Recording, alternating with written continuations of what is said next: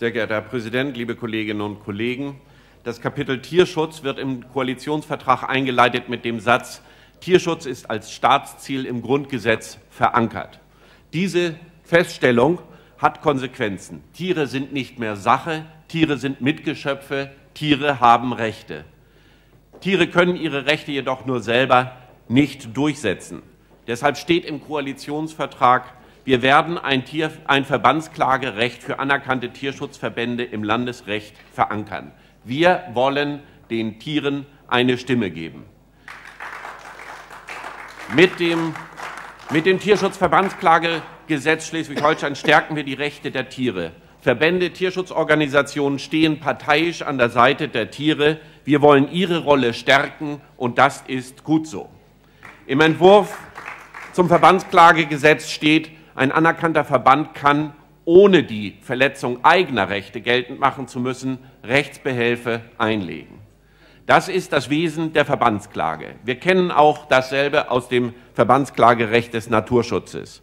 Das Gesetz, das wir heute verabschieden wollen, gibt das Mitwirkungs- und Klagerecht mit den klar definierten Einschränkungen des Paragraphen 3 nicht jeder Mann oder jede Frau darf davon Gebrauch machen, sondern nur Verbände, die dies beantragen, die sich das also zutrauen und die mitwirken wollen, deren fachliche Eignung auch nachgewiesen und anerkannt ist, die ihren Sitz in Schleswig-Holstein haben, die gemeinnützig sind. Diese bekommen das Mitwirkungsrecht und letztlich auch das Klagerecht und dürfen dem Tier eine Stimme geben.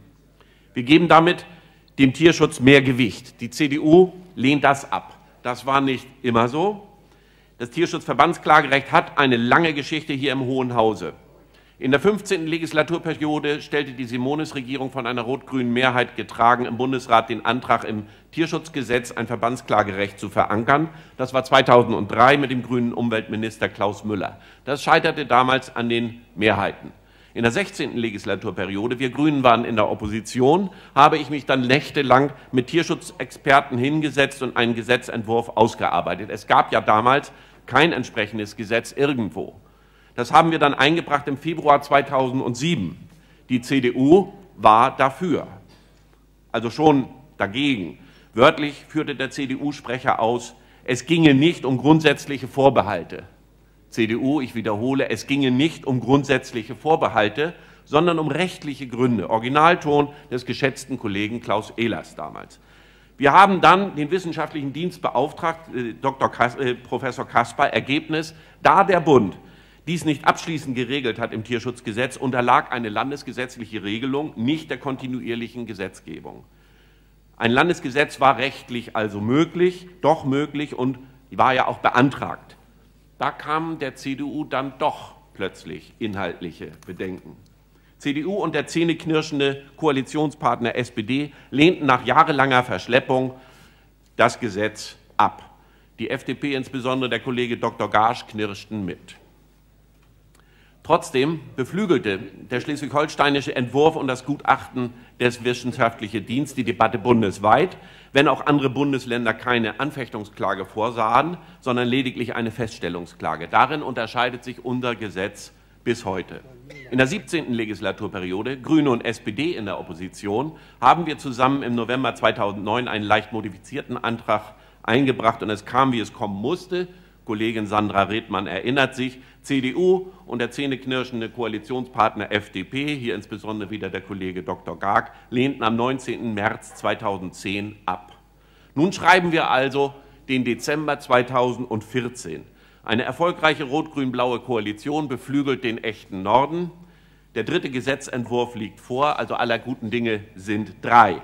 Nach zwei Jahren Befassung im Landtag, nach Anhörung und Diskussion im Ausschuss in mehreren Sitzungen, nach 24 Umdrucken, nach etlichen Änderungen des Gesetzentwurfs, nach etlichen Änderungen des Gesetzentwurfs, also Demokratie funktioniert, liebe Piraten, tatsächlich ganz transparent, partizipativ und fachlich fundiert, nachdem wir denn doch nicht die Pioniere werden durften, nach Bremen, Rheinland-Pfalz, Nordrhein-Westfalen, Hamburg und Saarland und noch vor Hessen, gibt sich das Land Schleswig-Holstein ein Tierschutzverbandsklagegesetz.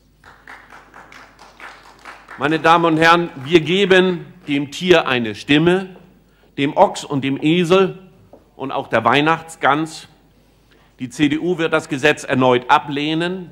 Wir wünschen ihr und Heiner Rickers viel Erfolg bei den Frauen, bei den jungen Menschen, in den großen Städten ihr Wählerpotenzial zu verbessern.